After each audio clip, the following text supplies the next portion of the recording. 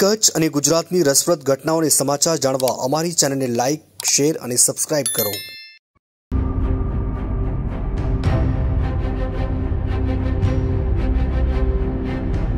વાવાઝોડું પોરબંદરથી જખો તરફ આગળ વધી રહ્યું છે.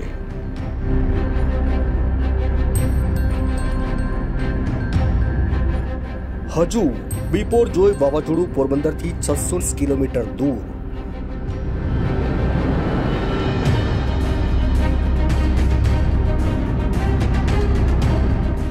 કચ્છના દરિયાઈ કાંઠે સંભવિત વાવાઝોડાની અસર દેખાય તેવી શક્યતા.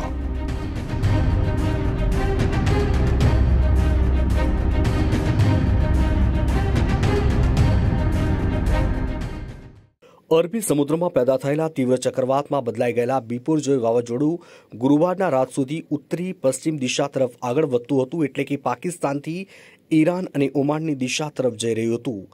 તેવા અંદેશાને તમામ જાણકારો સમર્થન આપી રહ્યા હતા, પરંતુ રાતોરાત દરિયામાં જ વાવાઝોડાએ માર્ગ બદલી ઉત્તર પશ્ચિમની જગ્યાએ ઉત્તર પૂર્વીય કરી નાખતા ફરી ગુજરાત હવામાન વિભાગ સાવચેત થયું છે. વાવાઝોડાની દિશા બદલાય નહીં તો ફરીથી કચ્છ અને ગુજરાત માટે ચિંતાનું કારણ બની શકે તેમ છે.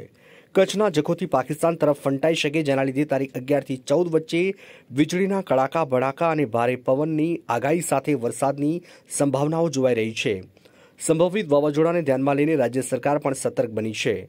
દરિયાકાંઠાના તમામ કલેક્ટરોને પરિસ્થિતિ પર નજર રાખવા સૂચના આપી દીધી છે. કચ્છના તંત્ર પણ સજાગ બની કંટ્રોલ રૂમ શરૂ કરી દીધો છે. કાંઠાળ પટ્ટીમાં રહેતા માછીમાર સહિતના લોકોને સાવધાન રહેવાની સૂચના આપી છે અને કંડલા પોર્ટ પણ સલામતીના કારણોસર આજે સાંજથી લઈને કોઈ નવા જહાજને પોર્ટમાં લાંગરવા દેશે નહીં. તો વળી હાલ, લાંગરેલા અને આજે સાંજ સુધી લાગરતા દરેક જહાજને ગમે તે સમયે દરિયામાં જવા માટે તૈયાર રહેવા પોર્ટ પ્રશાસન દ્વારા જણાવી દેવાયું છે. ઉલ્લેખનીય છે કે સંભવિત વાવાઝોડાની દિશા ગમે તે હોય પણ કાંઠાળ પટ્ટીમાં તેની અસર ચોક્કસપણે જોવા મળશે. બિપોર જોઈ વાવાઝોડું હાલ તો પોરબંદરથી છસો કિલોમીટર જેટલું દૂર છે. Bureau report, Kabir news, Kutch.